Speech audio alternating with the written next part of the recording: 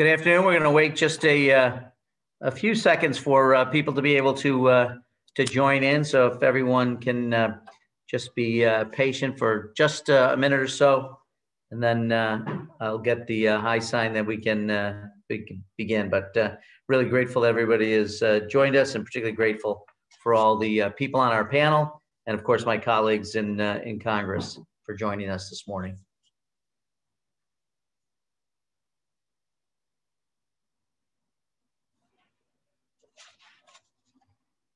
And you can, Joe, you can tell me when we get to a critical mass here. Yeah, we're at one sixty-seven, just give it Okay, good. I feel like I should be able to juggle or something in the, uh, keep people's attention, but unfortunately, I don't have any skills in that regard. Um, but I am happy to see spring has come to Washington. Not so much in Rochester, New York, where I'm from, but uh, but it's definitely springtime here.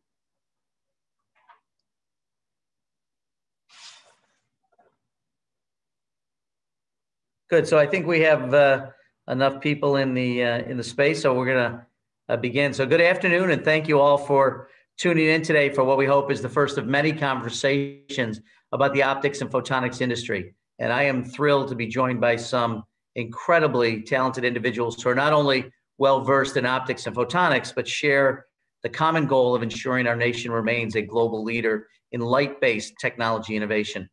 Uh, the bipartisan bicameral caucus we are announcing today is a result of a multi-year effort, and I'm so grateful to my colleagues, industry experts, and local advocates who helped make this a reality. As a congressional caucus, we will work in a bipartisan manner to increase awareness of how optics and photonics improves the everyday lives of Americans and work to maintain the United States position as a leader in global innovation. My hometown of Rochester, New York has deep connections to the optics and photonics industry, and I'm proud of the far reaching benefits and opportunities the industry has afforded our region.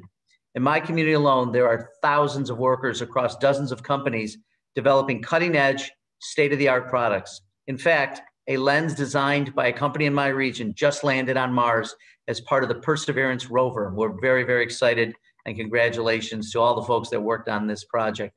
But the applications of this technology go far beyond space travel they benefit Americans every single day. Light based innovation is already improving the way we communicate, energizing our grids, helping how we administer healthcare in our country, and even enhancing our national security. This industry has been a foundation for success in the past and quite literally lights the way for our future.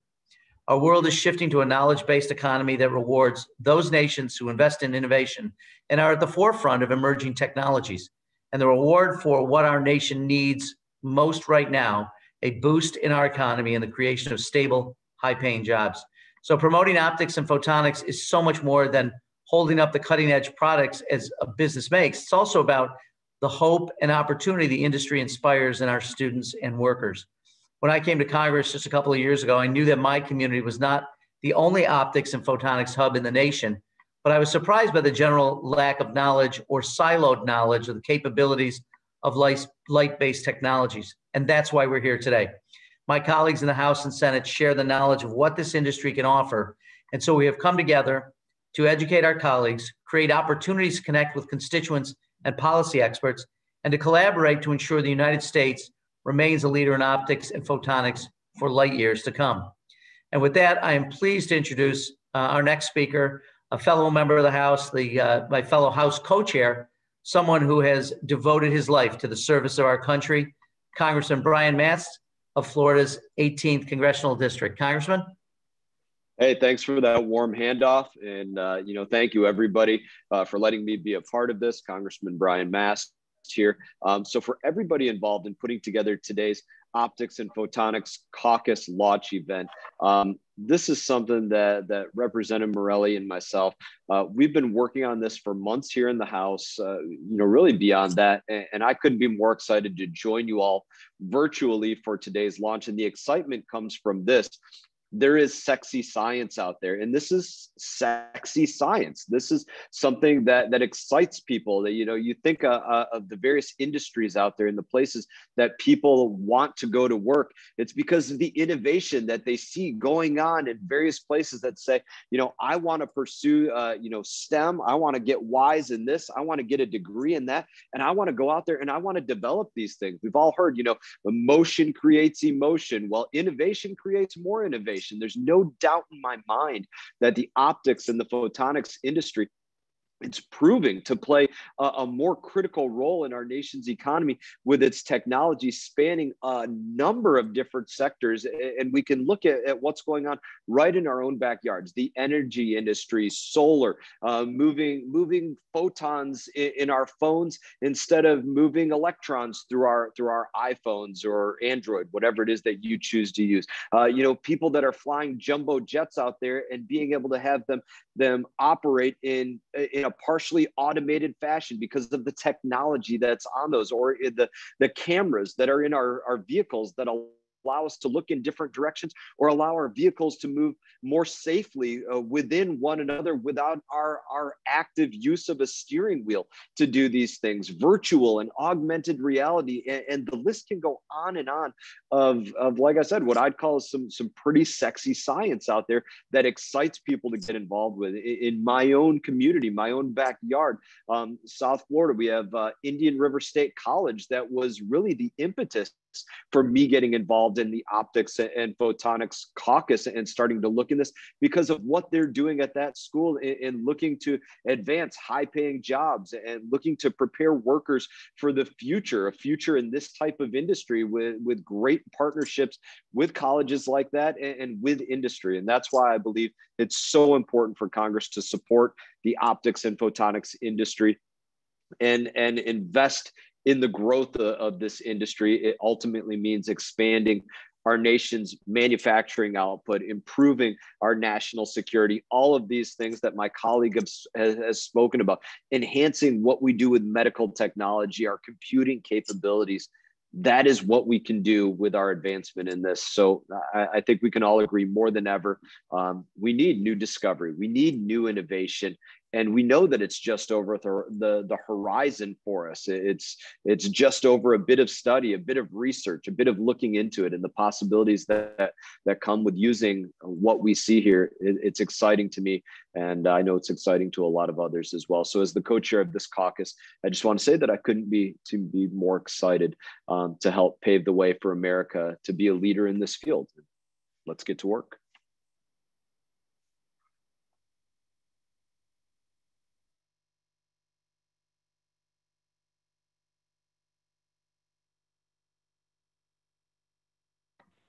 I'm still searching around for the mute button after all this time. You know, you think you get used to it, but I uh, I do want to uh, thank uh, Congressman Mast not only for his leadership, but you can see the passion that he brings to this. And you know, so many of us here in Washington are looking for opportunities where we can find common ground, and I certainly think uh, this work together, which I'm really looking forward to, is a place where we'll really find common ground about moving forward uh, and having a sense of national purpose around innovation. So, thanks for your leadership and for being here. Uh, senior senator from Arizona, Senator Sinema, unfortunately had a last minute unavoidable conflict, and so she's unable to join us this morning, but she sends her best and passed along that um, she is thrilled uh, to uh, to uh, participate in this bipartisan effort and uh, and bring folks together around this innovation. Obviously, she is um, someone in a state that uh, is doing a lot of great work here, and she's uh, obviously interested in boosting Arizona's economy by helping Arizona universities and businesses continue uh, innovation in this space. So I um, understand that uh, Senator Daines is uh, going to be joining us in a short while. So uh, I'll come back to uh, introducing him. But for now, let me go to our other panelists. I'd like to introduce Dr. Bruce Tromberg, who is a leading researcher in the field of biophotonics and the director of the National Institute of Biomedical Imaging and Bioengineering, uh, which is a mouthful, NIBIB, uh, within the National uh, Institute of Health. He is currently helping to lead the Institute's $500 million rapid acceleration of diagnostics innovation initiative to increase testing capacity and performance for the COVID 19 pandemic. Doctor, I can't uh, thank you enough for being here. And uh, with that, let me turn it over to you. Thank you, Congressman Morelle, and uh, co-chairs Congressman Mast, Senators Sinema and Daines, and my colleagues on the panel. Um, it's truly an honor to participate in the Optics and Photonics Caucus today. Um, as Congressman Morelle said, I'm the director of the National Institute of Biomedical Imaging and Bioengineering, or NIBIB, at the NIH. Uh, we're the only NIH institute dedicated exclusively to the development, commercialization, and clinical translation of engineering, physical science, and computational technologies in biology and medicine. NIBIB was established by an act of Congress 20 years ago and since then, our bioengineering community has grown enormously in size and impact. Importantly, when you look at many of the innovations we support, what you'll find under the hood are advanced optics and photonics technologies powering cutting edge methods, discoveries, and devices in biology and medicine. This is the field of biophotonics, a $70 billion per year industry that spans from microscopes to endoscopes, wearable sensors to surgical lasers. Prior to joining NIH in January 2019, I spent about 30 years pioneering the development of biophotonics technologies as a professor of biomedical engineering and surgery and director of the Beckman Laser Institute and Medical Clinic at the University of California, Irvine. Just 13 months after joining NIH, I, like many of you, became intensely focused on the fast moving COVID 19 crisis and began to work on ways NIBIB could help. We launched a bold new program, RADX, Rapid Acceleration of Diagnostics, only five days after NIH received generous support from the fourth congressional supplement. Our audacious goal was to drive an unprecedented expansion of COVID testing technologies from concept to manufacturing, a cycle that normally requires five to six years, and do this within five to six months. I knew that we had game changing optics and photonics technologies that were ready to jump from research labs to the marketplace. But these methods needed to be combined with molecular assays and undergo intensive de risking and validation prior to investment. To do that, we built RADX around a Shark Tank like review process and our national point of care technology research network. In just three months, RADX received more than 700 applications from companies and academic groups around the world. Only five months after launch, RADX supported companies were obtaining regulatory approval and moving to market. As of today, we've invested more than $520 million in 27 companies for manufacturing expansion. These organizations produced 94 million new COVID tests just between September and December 2020, and more than 2.5 million tests per day are projected by March 2021. Most of these are accessible technologies for screening and surveillance in point of care and at home settings. Virtually all of these platforms, both nucleic acid and rapid antigen tests, depend on optics and photonics technologies to reveal the presence of an invisible virus. One example is the first rapid home test to receive FDA over the counter EUA clearance. This device, made by Ellume, packs in quantum dot reporters, integrated optoelectronics, miniature optics, a solid state source and detector, and syncs via Bluetooth with a smartphone.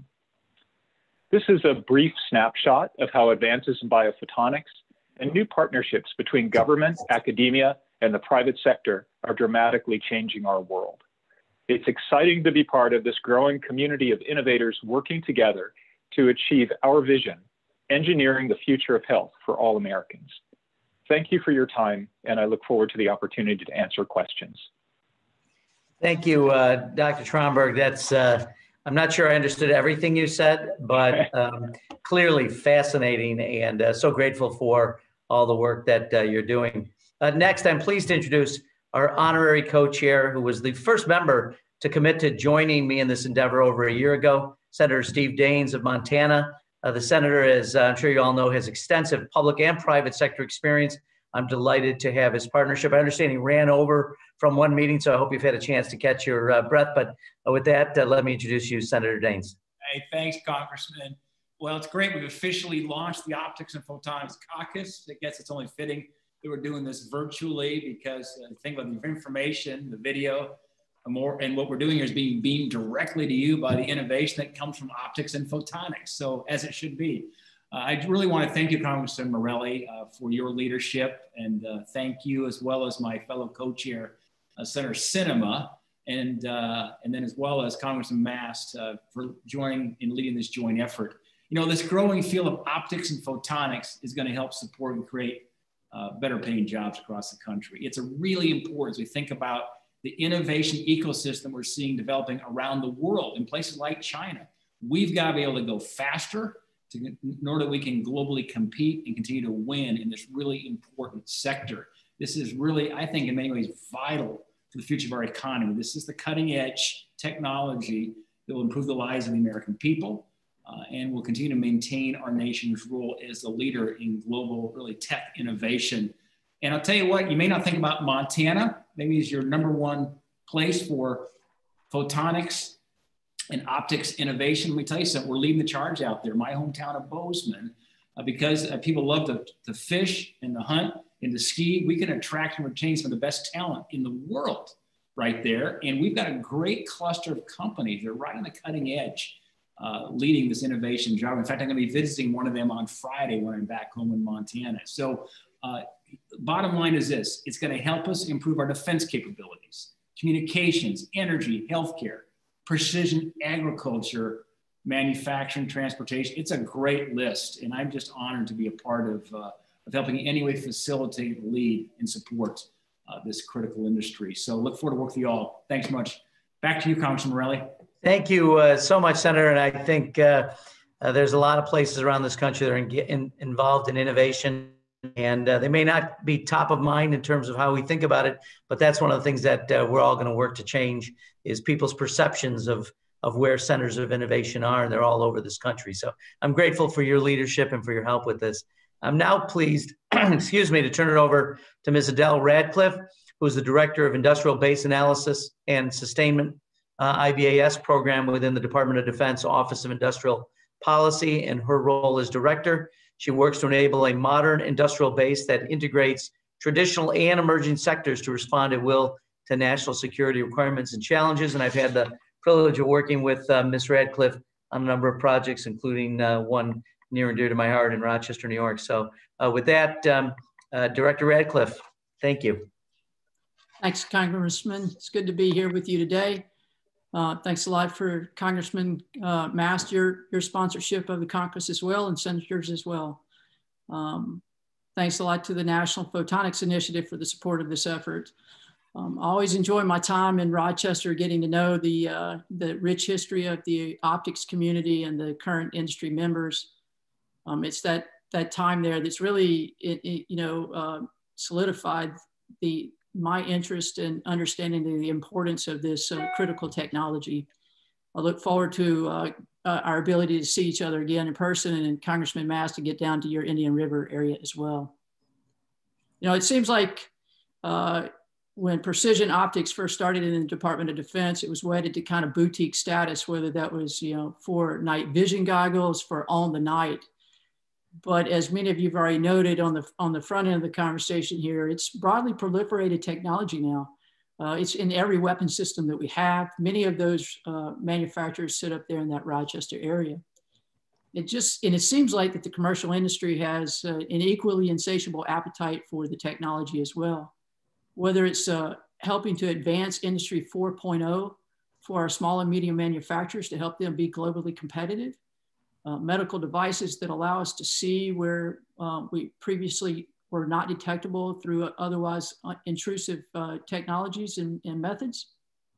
Uh, the new, um, our cell phone that allows for, you know, uh, facial scanning for my passcodes and also selfie photos when I'm on vacation.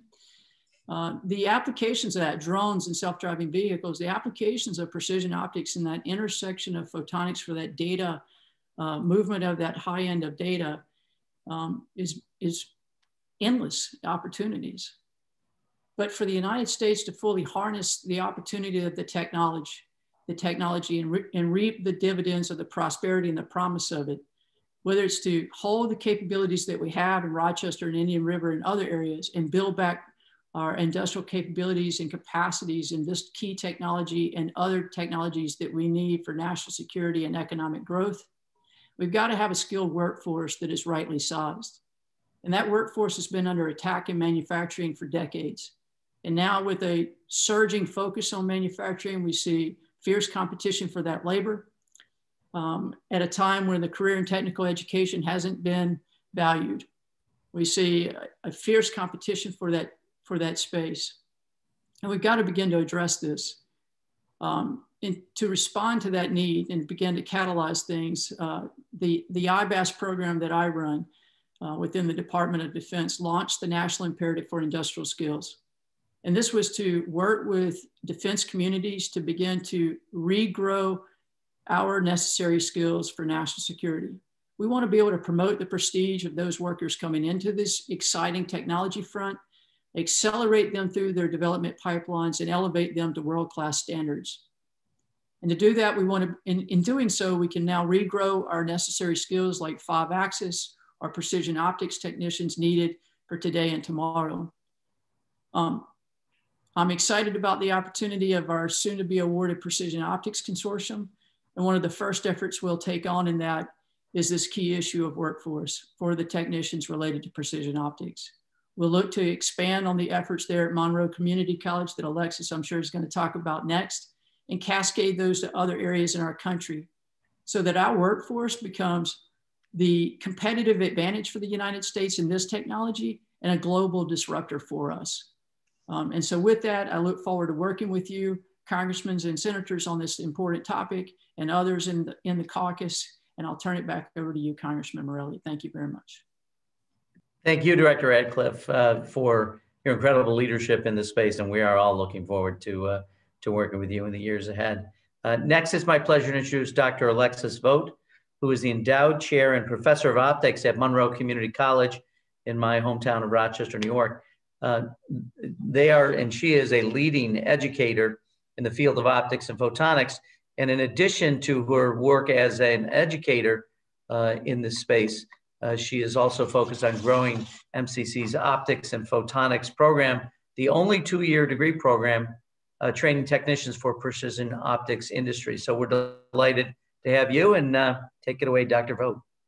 Thank you, Congressman Morelle, and co-chairs Congressman Mast, Senator Daines, and Senator Sinema for your vision in establishing the Optics and Photonics Caucus. And thank you to the National Photonics Initiative for supporting the effort.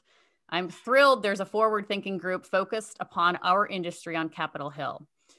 Our industry is responsible for remarkable innovations which improve our lives every day, from personal safety with backup cameras and sensors in our cars to defense superiority and national security efforts, to smartphones that soon will only need to be charged once a month. As Congressman Morelle said, I'm the professor and chair of optics at Monroe Community College here in Rochester, New York, where we train precision optics and photonics technicians. But before turning my passion to educating optics technicians, I worked in the optics industry that currently supports one out of 14 households in Monroe County, where Rochester is located. Our regional optics cluster is 168 years old and began when Bausch and Lomb began their work at Rochester in 1853. Today, the area is home to more than 120 optics, photonics, and imaging companies of all shapes and sizes. These companies generate over $3 billion in annual sales and provide meaningful employment for 17,000 people. And their products and services are deemed essential to the medical, aerospace, semiconductor, and defense industries. It should come as no surprise that Rochester is also known as the nation's Center for Optics Education. Our region is responsible for having educated half of the optics PhDs currently working across the nation. I'm proud to be one of them. My alma mater, the Institute of Optics at the University of Rochester, is the nation's longest standing program for studying optics. Rochester is also home to the Center for Imaging Science and the Future Photon Initiative at the Rochester Institute of Technology, and home to Monroe Community College, where for 40 years, we have been the only college in the world awarding associate degrees in precision optics. Over the past five years, MCC's optics program has been supported by $1.7 million from industry partners, a $550,000 grant from the National Science Foundation, and most recently, a $4.4 million grant from the Department of Defense Office of Naval Research. The Finger Lakes region of New York State, where MCC resides, has an estimated annual demand for more than 550 optics technicians. Our enrollment increased by 72% in the fall to an all time high, but that is not enough to fill even our local workforce need, let alone the entire country. Much work remains both regionally and nationally. We look forward to working with the optics and photonics clusters in Arizona, Florida, Montana, and all across the country to share our innovative training programs, including our Precision Optics Apprenticeship Program, and share our best practices for expanded enrollment, retention, and graduation of underrepresented populations, as well as our strong alliances with the Optics Network, pre-collegiate educators, and industry partners. Our industry has well paying, in demand jobs that are ensuring technological superiority for the Department of Defense and revolutionizing our world. Thank you very much. Thank you, uh, Doctor, for your uh, leadership and expertise. Uh, and uh, thank you for being here today. Uh, before we go on to our next uh, item, which is a, a great video that was put together by NIST. But before I do that, I would be remiss, and I'm sure uh, my colleague, Congressman Mast, uh, will join me in thanking our staff who put this together. I, I know that I could not have done any of this without Joe Stiles uh, on my staff, who many of you interacted with, and she just did a great job. And Libby uh, Tidwell in uh, Congressman Mast's office, I know he would want to uh, join me in thanking them for their um, um, great contributions to to putting this together, and obviously as well for the members of Senator Sinema and Senator Daines's staff. With that, we are also grateful to the National Institute of Standards and Technology for contributing to this event today uh, with technology demonstrations. In this brief video, Zeeshan Ahmed, a research chemist with NIST, shares two examples of how photonics is being used today to develop practical and potentially life-saving technologies in the fields of health and infrastructure. And with that, let's play the video.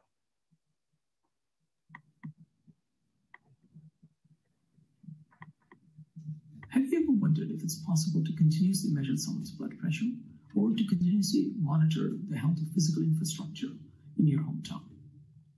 Well, thanks to embedded photonics technology, that dream is closer to being a reality than ever before. In the two videos you're going to see, we show you how, using photonics technology, we can measure certain changes in the shape of an object due to mechanical forces.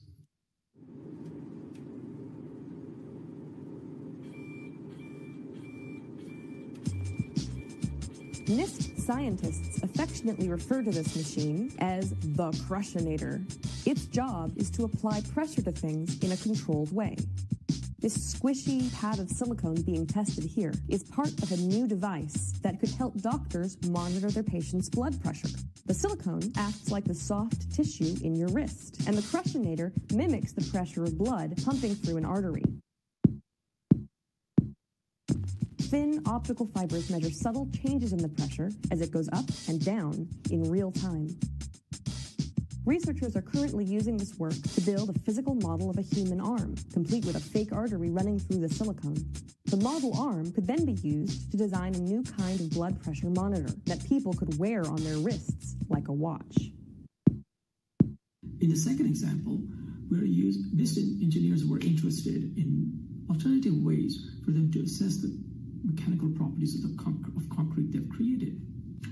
In these examples, what we are showing is that it's possible using embedded photonics technology to, for engineers to have real-time information that tells them the quality of concrete they're creating and hopefully learn to adjust the recipe they're using to create the product that they desire, hopefully eliminating waste or at least reducing it. And then in the, over the long term, they can use the same sensors to monitor the health of the infrastructure they've created.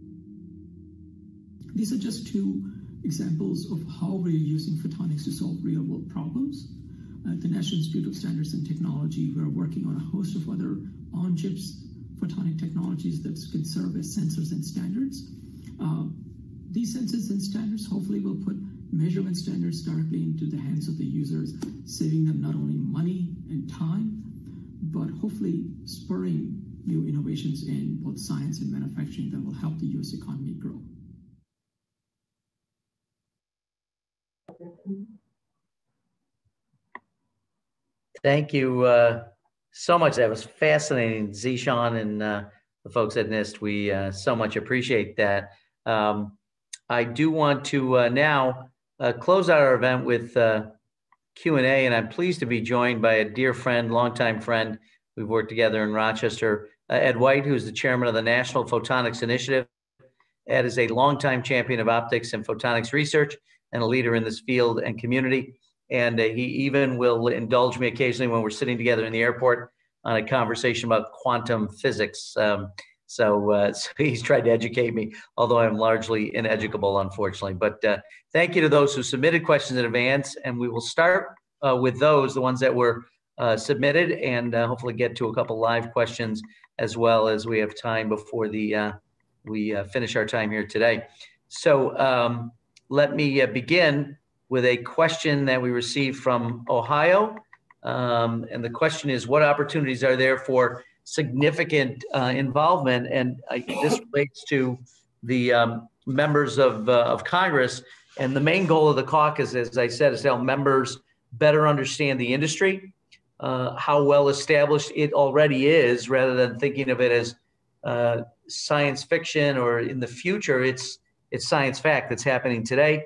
Um, as well as the developments and potential for future success and growth. So, constituent engagement with members is critical to growing uh, support and interest. We know that. So, uh, all of you who are on uh, this uh, and hear uh, this message and are participating today, the more that you talk to your members of Congress, your members of the United States Senate, and encourage them to to participate and really get involved with this, that will really help us in our, our goals. And um, a part of the caucus moving forward will be briefings and events for members and their staff, which is critical. And these types of events will succeed uh, when experts join the conversation and we'll look to industry for input and for their participation as we host events and briefings. That video is a great example of knowing how we apply photonics and, and optics uh, to the incredible work that's uh, that's being done and what the future brings. So with that, let me uh, ask the next question, my friend Ed. Uh, what do you see as the biggest barrier to the growth of optics and photonics technology uh, in, in the United States? Uh, thank you, Congressman Morelle. Uh, and before I answer the question, I just wanted to add my thanks to you and to the co-chairs, um, you know, Congressman Mast, um, Senators uh, Daines and Sinema, um, for sponsoring this caucus and leading and uh, this this caucus. Uh, we believe is going to be very effective in educating the Congress um, members on the power and the capabilities of the important technologies uh, in optics. So thank you very much. Um, relative to the question, uh, increasing the amount of technology in the U.S. can be uh, that can be deployed into the mainstream applications requires really a broad portfolio, um, a broad R&D portfolio. Uh, it it also requires um, mainstream um, uh, uh, talent and sufficient talent uh, that can investigate, develop, and prove out the technological concepts. You know, funding research at academic institutions, startups, small and medium-sized companies, large companies, national labs um, is essential to increasing the R&D portfolio.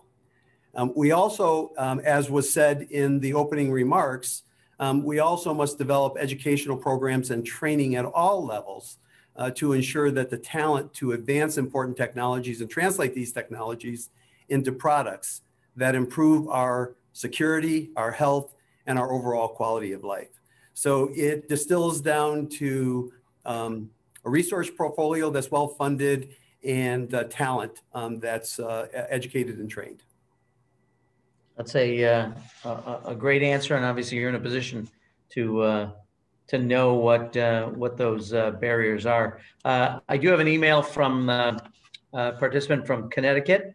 Um, how will Congress support optics development to position the United States as the leading country to commercialize optical-based products? And obviously, this caucus will work to show, I hope, how historical historic investments in light-based technologies have led to great benefits in society, um, and that future investment is critical to ensuring that America leads innovation on the global stage once more. And what we know is in recent years, the amount of investment uh, by federal research in federal research and development has continued to decline. Um, we're at the lowest point since 1955, 56 as a percentage of investment, as a percentage of, of uh, GDP. Uh, and we're very concerned that global competitors are beginning to invest far more as a percentage of GDP than the United States is. So I'm hopeful that this caucus and the conversation, not only about what we've done to date, but what the what promise the future holds, uh, will help uh, encourage members of Congress to um, continue to invest more and more in this space, and uh, want to make sure that they continue to invest in innovation generally, but but more narrowly uh, in optics and, uh, and photonics. So uh, we have another uh, question, and Ed, uh, feel free to jump in on this uh, from Massachusetts. How will Congress support and focus on small tech businesses for high growth markets such as the new space economy? And obviously, you know, I, I just uh, as I did the previous question. We want to see our local communities succeed. So businesses large and small, broad federal investment in R&D can lead the way to a major shift in our nation's innovation capabilities but targeted efforts are uh, key as well. And I don't know, Ed, if you wanted to add anything or any of the other well, panelists want to add anything on this. I, I would answer it in a very uh, similar way, uh, Congressman Morelle. Uh, new space is a great example of an area where optics and photonics technologies can play a, you know, a large and important role. Uh, you know, companies of all sizes can contribute uh, to the space ambitions of the government and private companies through imaging, positioning, communications, computation and measurement.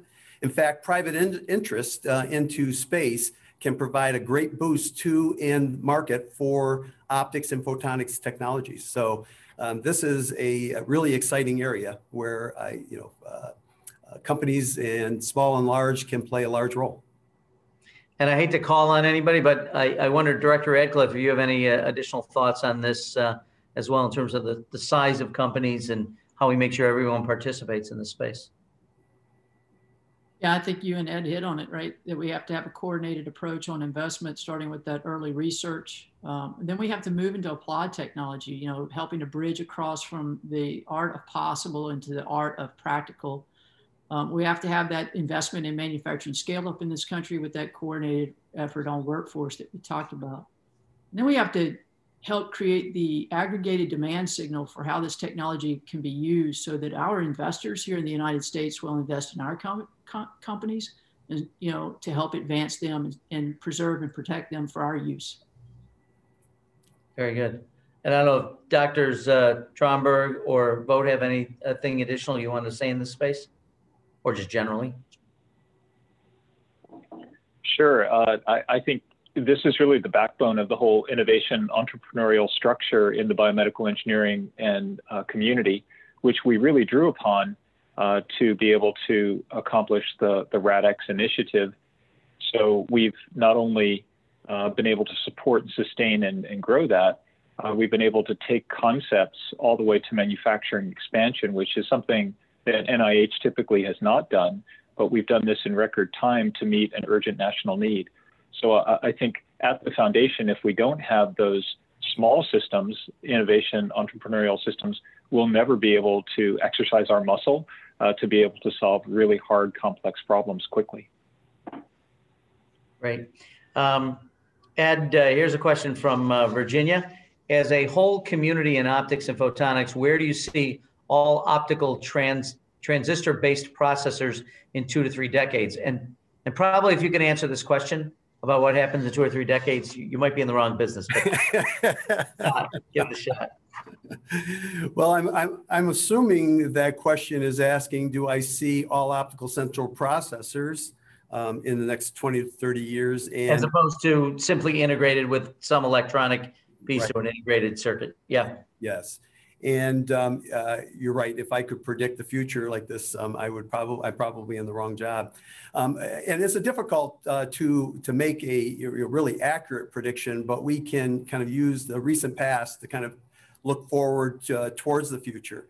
You know, the the, uh, the the field I work in is integrated photonics, and the organization that I work for is uh, AIM Photonics. And many of you know that integrated photonics uses semiconductor fabrication pro, uh, and packaging processes to produce um, photonic integrated circuits. This means we get the benefits of semiconductor fabrication.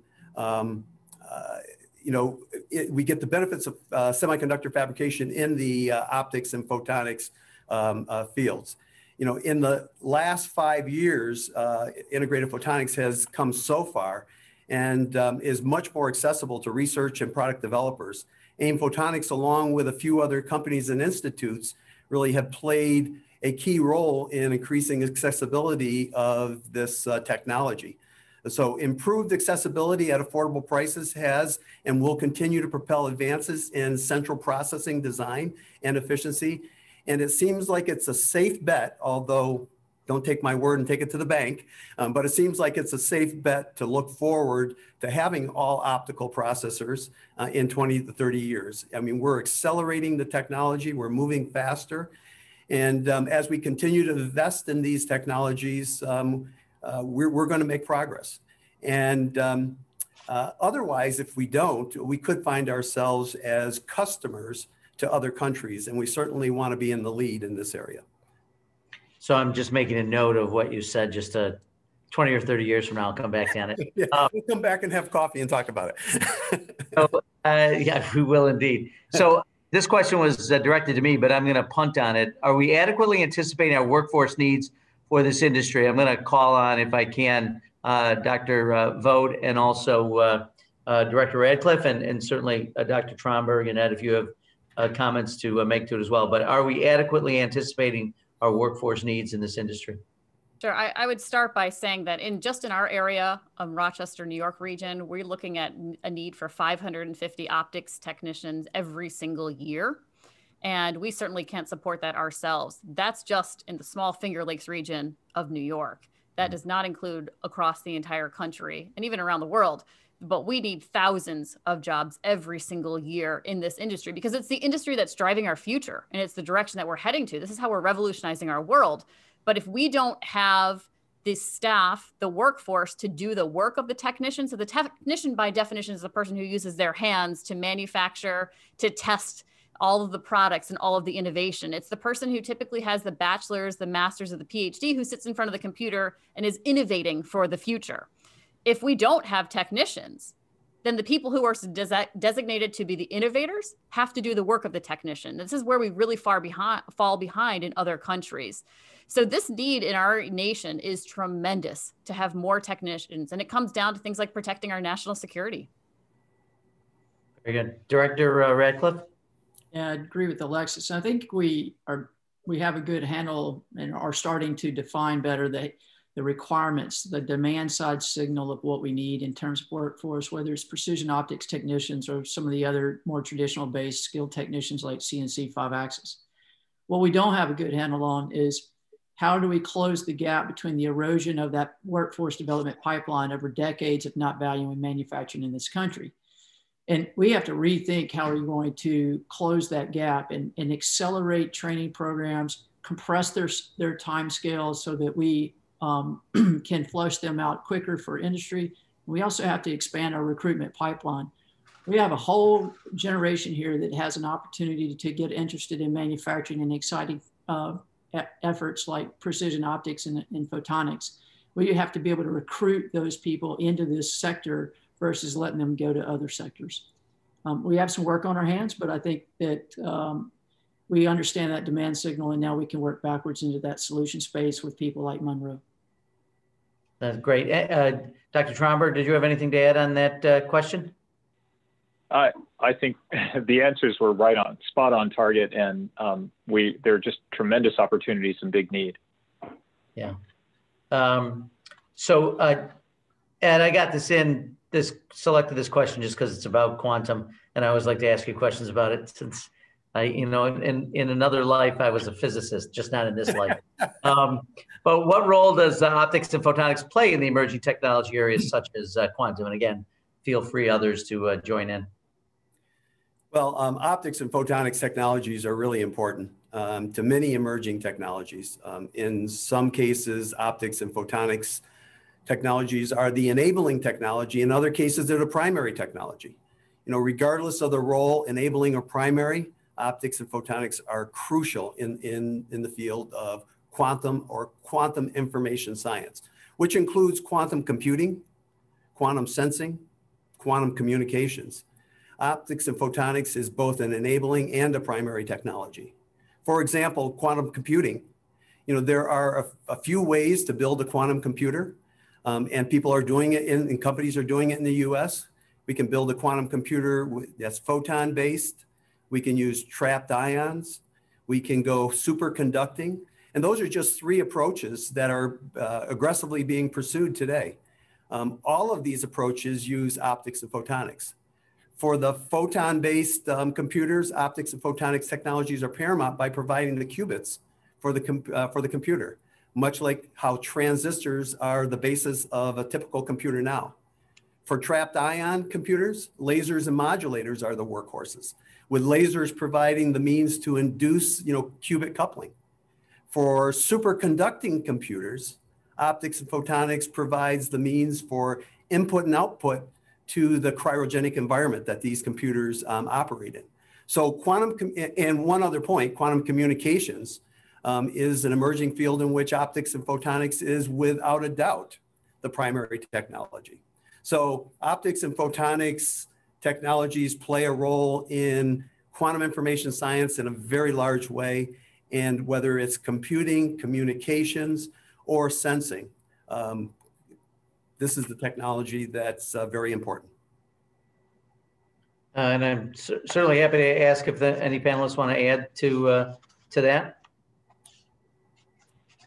Um, uh, I would I would just add that in in the biomedical area, which uh, as you know, um, healthcare is about 20% of the GDP, and these are it, it really is a tremendous communication and informatics problem. Um, and uh, these advances will play a critical role in helping introduce um, efficiencies and um, accelerate knowledge that will save lives and help patients. Um, yeah. It's it's a long haul, but it's important for us to be involved in this as soon as possible. And I suspect that 20% of GDP number is only scheduled to rise as uh, people in uh, the baby boomer generation, the, significant numbers uh, begin to age into uh, uh, not only early retirement, but as they, you know, as lifespan continues, that's going to be a big cohort of the population. And they're, uh, as you get older, obviously, we know you use more of the healthcare dollars, so that's going to become more and more important. Um, I do have a question from Florida. How can undergraduate and graduate students get involved with promoting our advancements at an academic level to Congress. Again, uh, you know, from my perspective, engagement with your members. Um, I often find when we're talking about some of these spaces and some of these technological advances that members of Congress, because they're dealing with so many different issues, uh, really don't have a current understanding of what's going on in this space. So I would just encourage people to engage, contact uh, your uh, member of Congress and their district offices, uh, certainly talk to the staff because the staff really helps, uh, I think, distill down what the agenda is going to be and what things uh, members of Congress need to really pay attention to. So that would be uh, really important. Um, I had a question from Montana. I'm, I'm sorry that Senator Daines isn't with us. I'm sure he'd want to answer, but what photonics technologies do you consider strategic with international competition? So again, not just as it relates to Montana, but across the country, what photonics technologies do you consider strategic with international uh, competition. Uh, Ed, do you want to take a first whack at that? Sure. Um, well, one of the ways to um, to look at this uh, question is um, to look at uh, a committee, a government committee called uh, CFIUS. CFIUS is the Committee on Foreign Investment in the United States. And the, the US government defines critical technologies uh, as areas um, as technologies controlled uh, through US export. Um, so many of these technology areas are photonic technologies, or at least enabled by photonic technologies. You know, some of the uh, examples of photonic technologies that are considered critical by the US government include a wide array of lasers, including those used for industrial manufacturing as and directed energy weapons. Um, also sensing technology, including infrared sensors um, used for night vision technology and sensing instruments used in space. You know, many photonic materials are also seen as critical. Um, you know, the new materials that are coming out for modulators in um, integrated photonics, um, although we're early on and they haven't been necessarily designated, but um, those are critical uh, materials. Um, as new technologies emerge, there will likely be additions to the list of uh, critical technologies as, this, as defined by the US government. But this list can be used as a proxy for strategic technologies that we want to always be in a leadership role on, we being the US. Any panelists want to uh, add any thoughts to that question?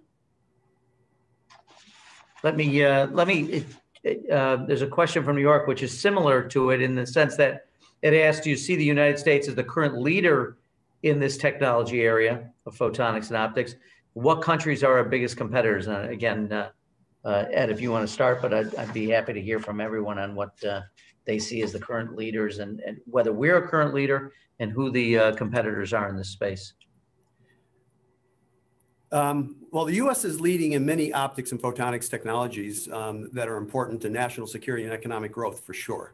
Um, but not every important technology. While time passes, other parts of the world are catching up uh, and they're catching up quickly. Um, and, um, uh, and they might be behind now, but they're, but they're gaining um, and they're gaining on the US. For example, in the area of high intensity lasers, um, the US has been a global leader in this technology for decades. But recent investments by countries in Europe and in China, combined with an aging infrastructure um, in the US, opens the door for US to lose that lead if we don't act. In, in important technologies where the US is losing ground or not leading, investments in R&D need to be increased. So collaboration between government and industry, academic organizations, and public-private partnerships um, can be encouraged as a way to maintain and improve our position uh, as, a, as a global leader. Um, you know, there are, there's a lot of research, a lot of development, a lot of progress made outside of the US, and we've got to run hard and fast um, to stay ahead in the race. So it's not only where we are, obviously, but it's the trajectory of where we're going. How, in terms of the the biospace, uh, Dr. Tromberg, how do we how do we stack up uh, relative to other countries there, and where is our competition? Well, I think it, it follows the same general pattern, and, and actually you've alluded to this in, in terms of the fraction that we spend of GDP uh, on, on research. And other countries have really noted our remarkable success and imitated what we used to do and um, have created national initiatives. And of course, structures in other countries are more top down. So there are a number of biophotonics initiatives that have been led by several other countries around the world.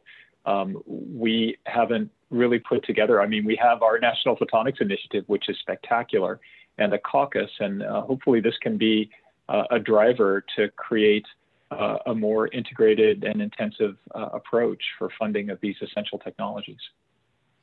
And uh, I would be curious, uh, Director Ratcliff, do you have a, a perspective in terms of in, uh, in, the national security space, how we rank and where we where we are relative to that?